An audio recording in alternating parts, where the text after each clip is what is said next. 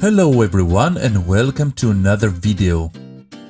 Today we are going to make a test video. We are going to compare two airbrushes. The Harder and Steenbeck Infinity CR Plus with 0.15 needle and the Harder and Steenbeck Evolution with 0.2mm needle. As you may already know, I use for my projects the Infinity. But Harder and Steenbeck kindly sent me an evolution. So I thought it was a good idea to make a video to compare them.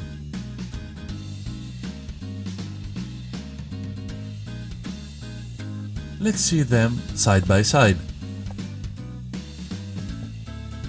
This is the Infinity on his box.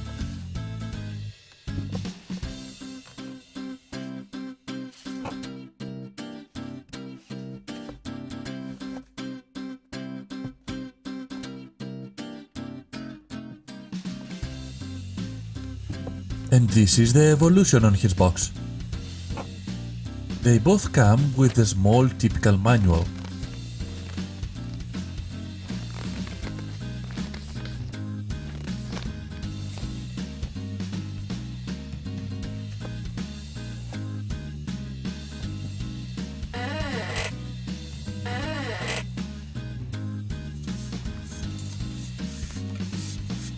Time to see their parts side by side. The needle cap is different and you can't use the one to another. The color cap and the nozzle system are exactly the same. At the back the Infinity has the quick fix end piece with dial that the Evolution doesn't have. They both can use the same needles as long as they use the same nozzles. The mechanisms that hold the needles and the levers are differ a bit between them. The bodies are more likely the same, but they differ at the coating. So, let's check them out.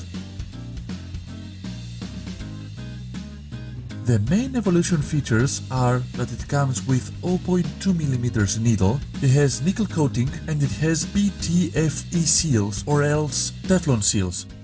That means that you can use strong lacquers without having any problems. The Infinity has the fine line nozzle set with 0.15mm needle. This is the smallest needle you can find in an airbrush. As the Evolution, Infinity has Teflon seals too. Also the Infinity CR Plus features a triple coating of copper, nickel and high gloss exterior chrome plating. uh, yeah, right. What's the difference between the coatings? This is the evolution after using it as a main airbrush for 6 months. He has a nickel coating. As you can clearly see, the spot that I placed my fingers has a blur. Even if I tried almost everything, I couldn't remove it. This is the Infinity how it looks like after using it for about 2 years. It's like brand new and it is spotless.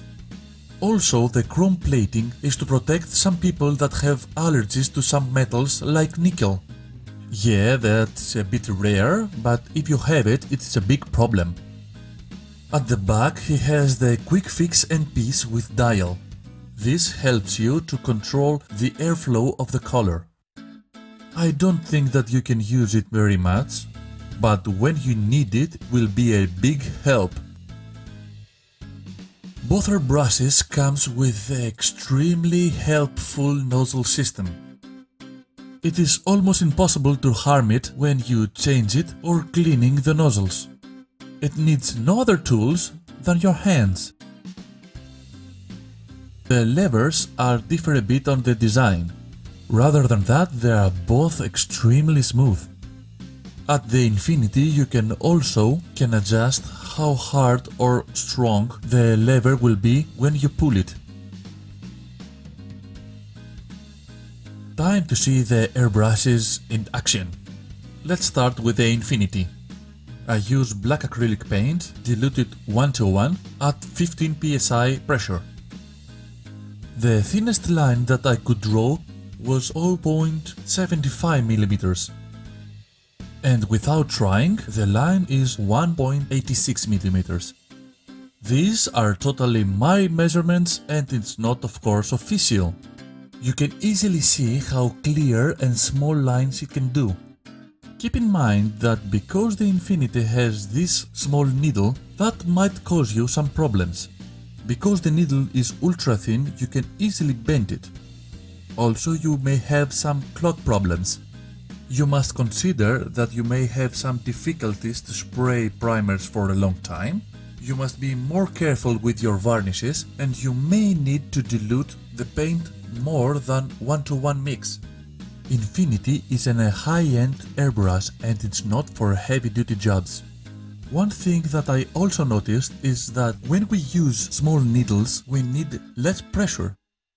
For instance, if we need with Evolution to draw a line with 20 psi, with the Infinity we will need 15 or even 10 psi to make the exact same line. Now to the Evolution. The Evolution comes uh, with a needle 0.2 mm and as in the Infinity, you can use needles between 0.2 to 0.4. This half millimeter makes a huge difference when you're drawing details.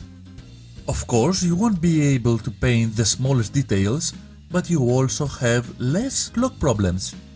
In 6 months, it clogged me only one time. Nice! If you are an amateur painter, this airbrush is for you. It is very well built, it is very safe to use it for a long time without damaging it, it has great performance for his price and you can easily find spare parts.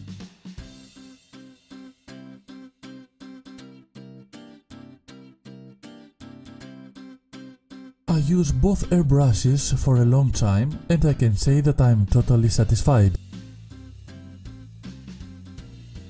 As I said before, the Infinity is a high-end airbrush.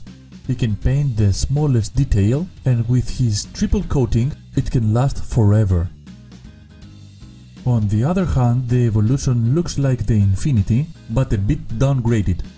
It is ideal for amateurs who want to buy an airbrush and not a toy. That's all for today, I hope to help you and enjoyed it. You can always comment, like and all the stuff. And I see you in the next video. Bye!